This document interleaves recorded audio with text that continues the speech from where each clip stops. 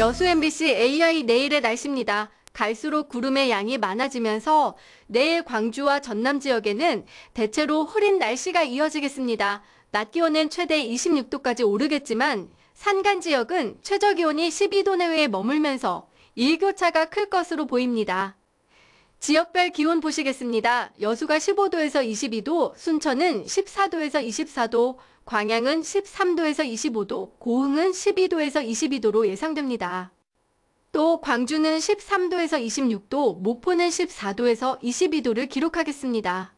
바다 날씨도 여전히 흐리겠지만 파도는 오늘보다 잔잔하게 일겠습니다. 남해서부 앞바다에서 0.5m, 먼 바다에서는 0.5에서 1m로 예상됩니다.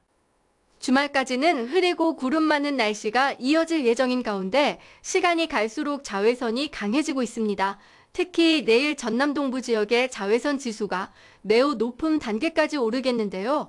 야외 활동하실 때에는 긴 소매 옷과 모자, 자외선 차단제 챙기시는 게 좋겠습니다. 지금까지 AI 날씨였습니다.